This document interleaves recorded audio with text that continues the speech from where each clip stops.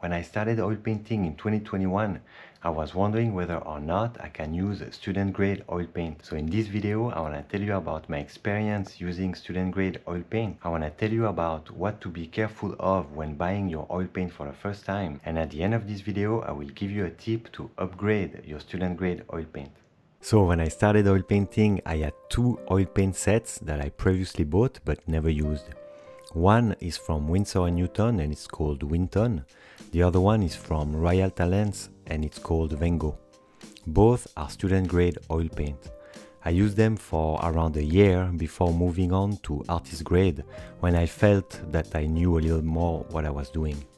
So I used student grade for a year. I produced a lot of painting with them and I did a lot of experimentation. You can have a look uh, at a previous video I did about my first three months uh, with oil painting. All the paintings I showcase in that video are made with student grade oil paint. I was pleasantly surprised, besides the low tinting strength, both sets delivered beautiful paint, very enjoyable to work with. There are three paintings that I liked and framed uh, of that first year, and even though they are not that old yet, they still, they still look like the first day. So probably student grade is less archival than artist and premium grade, but this proves that by choosing the right brands, the student grade oil paint still reaches a certain quality that is enough for students to do their first steps in oil painting. Now, there are three grades of oil paint, student, artist and premium. Both artist and premium are professional oil paints. But what is inside the tube of oil paint? To keep it simple, the main ingredient is naturally the pigment. The pigment is what is expensive. The pigment is ground in a binder, that is the oil. The most common is linseed oil, but we can also find safflower or walnut oil, for instance. Some pigments will, will require some sort of additives or stabilizer. So that's something we can also find in an artist and premium grade. What we usually don't find in artist and premium grade is fillers. Fillers are here to extend the pigment. That is the ingredient that we will find in a student grade that we usually don't find in other grades.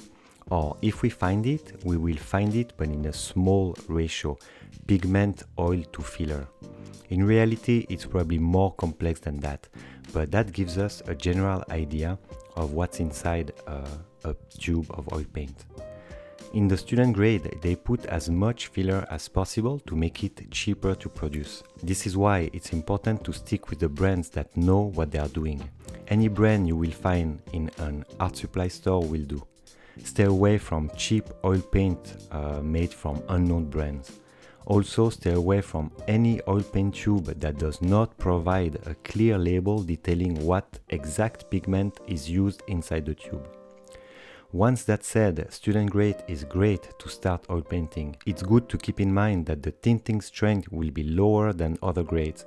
It's also good to know that besides the earth color, student grade will not often use the real pigment. They indeed instead use a combination of pigment to mimic the expensive pigment.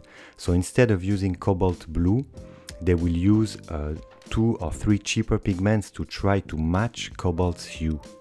Then the tube will have the mentioned cobalt blue hue. Hue indicates us that the real cobalt pigment has not been used.